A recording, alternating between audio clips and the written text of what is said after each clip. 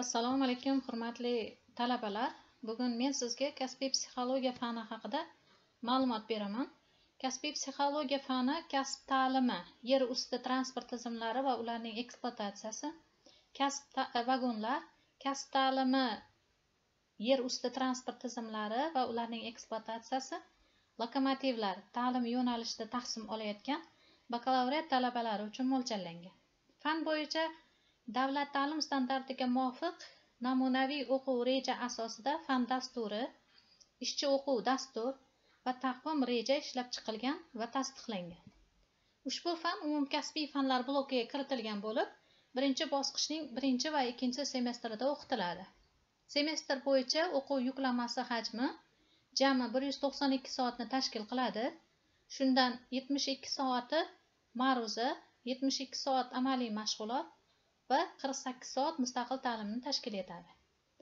Fan bo'yicha materiallarda bo'lajak mutaxassis uchun yetakchi faoliyatda zarur bo'ladigan psixologik bilimlar, mutaxassislikka yo'naltirish va unga moslashish hamda kasbkorlikning umum nazariy asoslari mahalliy va xorijiy yetakchi olimlarning o'quv qo'llanmalari, darsliklari va o'z tajribalariga asoslangan holda yaratilgan o'quv ko'rsatmalar o'quv uslubiy ko'rsatmalar asosida yoritilgan.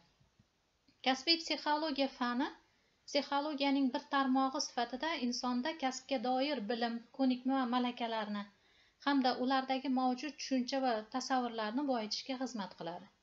Ushbu fan bo'lajak mutaxassisda kasbiy faoliyat jarayonida yuzaga keladigan turli qiyinchiliklar ziddiyatlar va to'siqlarni oldini olgan holda o'quvchi yoshlarga individual yondashuvni amalga oshirish imkoniyatini shakllantiradi.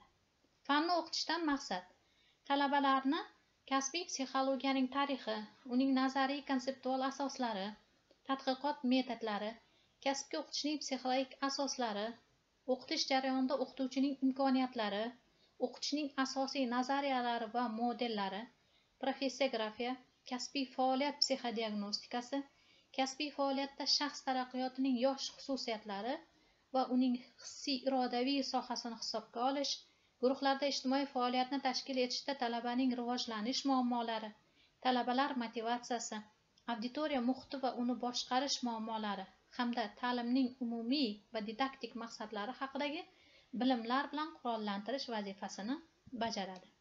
Fanni o'qitishda zamonaviy pedagogik texnologiyalar zamonaviy ma'ruzalar va ularning turlari ta'limning didaktik va elektron ta'lim resurslari ta'minoti hamda eng ilg'or texnologiyalar va tajribalarga asoslangan o'quv uslubiy qo'llanmalardan foydalangan holda ta'lim samaradorligiga erishamiz. Biz bilan birga bo'ling e'tiboringiz uchun rahmat.